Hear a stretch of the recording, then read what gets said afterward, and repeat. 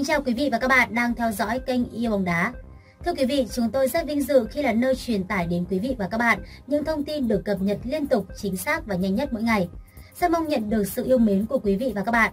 Còn bây giờ, mời quý vị và các bạn cùng đến với những tin bóng đá nóng bỏng nhất được chúng tôi cập nhật trong 24 giờ qua.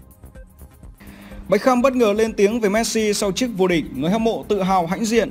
Liên tục ghi bàn giúp Miami có danh hiệu vô địch giải League Cup của Mỹ lần đầu tiên trong lịch sử. Giờ đây mọi thứ với Messi tại Mỹ chẳng khác nào kịch bản của một bộ phim hạnh phúc.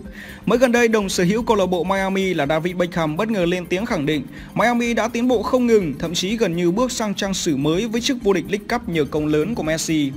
Những cái ôm được thúc đẩy bởi sự ăn mừng. David Beckham đã xây dựng một dự án lớn tại Miami nhiều năm nay, nhưng chỉ đến khi có Messi thì mới đem lại những chiến thắng và niềm vui lớn. Đó là danh hiệu vô địch đầu tiên rồi của giải League Cup. Ở Nashville, không ai hạnh phúc hơn Messi, vợ anh Antonella, vợ chồng Beckham và doanh nhân gốc Cuba Jorge Mas. Nhiệm vụ đã hoàn thành, những cái ôm đã nói lên tất cả, từ Marca của Tây Ban Nha viết. Sau khi Miami thắng câu lạc bộ Nashville, ở là sút luân lưu cân não để đoạt chức vô địch giải League Cup ngày 20 tháng 8. Tối hôm 19 tháng 8, Inter Miami đã chung kết với Nashville. Messi tiếp tục tỏa sáng, anh ghi tuyệt phẩm cửa lòng chân trái mở tỷ số. Dù bị gỡ hòa một đều trong 90 phút thi đấu, anh và các đồng đội vẫn giành chiến thắng 19 ở đoạn luân lưu để vô địch League Cup 2023. Sau trận đấu khi trả lời phỏng vấn, Beckham thừa nhận ông cảm thấy lo lắng khi theo dõi loạt đá 11m, nơi kéo dài đến 11 lượt, buộc hai thủ môn phải trực tiếp thực hiện. Không dễ dàng gì khi theo dõi một trận đấu kết thúc theo cách như vậy, cựu danh thủ người Anh nói trong đường hầm sân Geldis Park. Nashville chiến đấu đầy mạnh mẽ, nhưng đây là đêm của Miami. Beckham sau đó ca ngợi các tân binh đến trong mùa hè này là Messi, Busquets và Alba.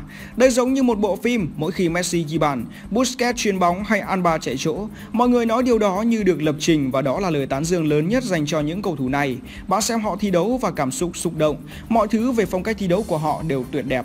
Trước khi nhận cúp vô địch, Messi được cựu danh thủ Beckham, chủ tịch và đồng sở hữu của Miami, xuống sân ôm hôn để cảm ơn. Tiếp đó, vợ của David Beckham, Victoria cũng ôm Messi một cách đầy tình cảm.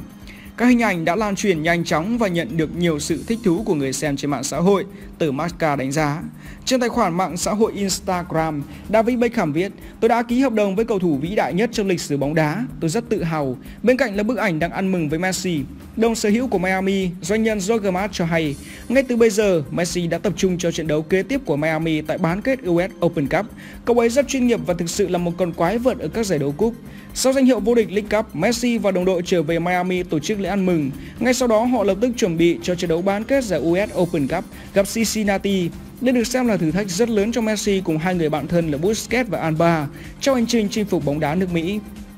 Inter Miami được thành lập năm 2018, hai năm sau họ tham gia MLS, lần lượt đứng ở vị trí thứ 19, 20 và 6 của 3 mùa. Hiện đội bóng của Beckham xếp cuối bảng sau 22 trận mùa 2023, gồm 5 trận thắng, 3 hòa và 14 trận thua. Trước khi ký hợp đồng với Messi, Miami trải qua 11 trận không thắng liên tiếp. Nhưng với sự góp mặt của siêu sao người Argentina, đội bóng toàn thắng 7 trận trên hành trình giành League Cup. Cá nhân Messi đóng góp 10 bàn, rất nhiều việc có thể xảy ra trong 5 tuần, Beckham thừa nhận.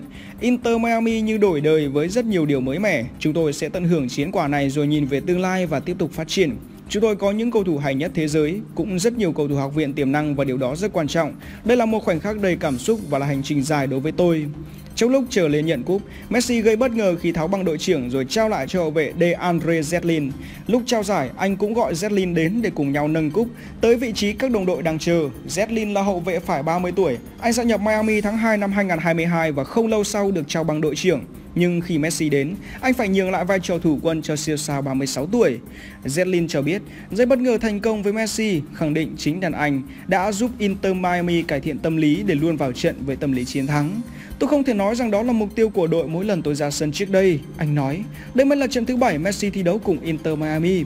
Tôi không thể tin tôi có thể nâng danh hiệu cùng Messi và điều đó nói lên tất cả về tính cách của anh ta. Cùng Inter Miami thắng Nashville tại chung kết của League Cup, Messi đoạt 44 danh hiệu. Anh vượt qua đồng đội Dani Alves để trở thành cầu thủ giành nhiều danh hiệu tập thể nhất lịch sử bóng đá. Anh sớm có cơ hội gia tăng kỷ lục khi cùng với Miami chơi trận bán kết Mỹ mở rộng năm 2023 gặp Cincinnati ở Ohio lúc 6 giờ ngày 24 tháng 8 theo giờ Hà Nội. Nếu như vào chung kết, họ sẽ gặp Houston Dynamo hoặc Real Salt Lake. Thống kê bất ngờ về giá tiền bài đăng quảng cáo trên Instagram của Messi và Ronaldo. Ronaldo kiếm 3,2 triệu đô la cho mỗi bài đăng quảng cáo trên Instagram, trong khi Leo Messi đứng thứ hai với 2,6 triệu. Hopper Hartwig công ty chuyên cung cấp giải pháp mạng xã hội tại Anh công bố danh sách Instagram Rich List, kết hợp giữa dữ liệu công khai và dữ liệu thu thập nội bộ. Bảng xếp hạng được thực hiện thường niên và thống kê những người kiếm được nhiều tiền nhất từ Instagram thông qua bài đăng quảng cáo. Trong đó thì Ronaldo đứng đầu khi mỗi bài đăng quảng cáo trên trang cá nhân có thể thu về 3,23 triệu đô la. Con số này tăng mạnh so với mức 1,6 triệu đô la năm 2021 hay 2,3 triệu đô la năm 2022. Đây là năm thứ ba liên tiếp Ronaldo xếp vị trí số 1 sau khi kiếm tiền được vượt qua tài khoản của diễn viên Ray Johnson năm 2020. Ronaldo cũng sở hữu tài khoản cá nhân có lượng người theo dõi lớn nhất trên Instagram. Ở giai đoạn thống kê đầu tháng 8, trang này có 596 triệu lượt theo dõi và hiện con số đã vượt 600 triệu. Cầu thủ người Bồ Đào Nha thường xuyên đăng ảnh về cuộc sống cá nhân trên sân cỏ, song song với một số bài viết quảng cáo cho game, tiền số, đồ chăm sóc sức khỏe. Xếp sau Ronaldo là Leo Messi. Với tài khoản 480 triệu người, Messi vượt qua ca sĩ Selena Gomez để trở thành người kiếm nhiều tiền thứ hai trên nền tảng của Meta.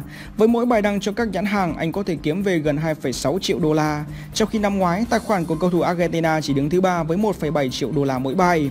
Theo Hopper, sự thăng hạng của Messi năm nay là do anh xuất hiện cùng đối thủ Ronaldo trong chiến dịch quảng cáo của một thương hiệu thời trang vào năm ngoái.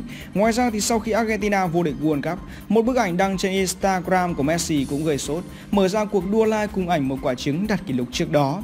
Ngoài hai cầu thủ này, top 5 những người kiếm tiền tốt nhất trên Instagram còn có Gomez, Kylian Jenner và Wade Johnson. Instagram là mạng xã hội chuyên chia sẻ hình ảnh và video ngắn thuộc sở hữu của Meta. Thống kê vào tháng 4 năm nay, nền tảng có 1,6 tỷ người dùng. Real Madrid sẽ gửi PSG đề nghị 130 triệu đô la cho tiền đạo Mbappe trước khi thị trường chuyển nhượng mùa hè đóng cửa. Động thái trên được ban lãnh đạo của Real thông qua trong một cuộc họp từ tuần trước. Theo đó, thì Real sẽ gửi đề nghị tới PSG muộn nhất ngày 29 tháng 8 để gây áp lực lên câu lạc bộ nước Pháp trước khi kỳ chuyển nhượng đóng cửa cuối ngày 1 tháng 9. Bill chỉ ra nhiều nguyên nhân khiến Real phải hành động sớm.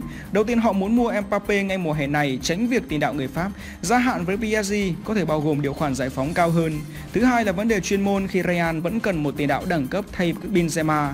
Đội trưởng đã chuyển sang Al tại Saudi Pro League. Real mới mượn Joselu từ đội bóng hạng mùa trước Espanyol như một giải pháp thay thế ngắn hạn. Ngoài ra Real đang xây dựng đội ngũ trẻ trung và Mbappe có thể là nhân tố tiếp theo. Ở trận đấu mở màn La Liga thắng Bilbao 2-0, Carlo Ancelotti đã đẩy hai tiền vệ kỳ cựu là Toni Kroos và Luka Modric lên ghế dự bị và sử dụng bộ tứ tiền vệ Aurelian Tchouameni, Jude Bellingham, Federico Valverde và Eduardo Camavinga.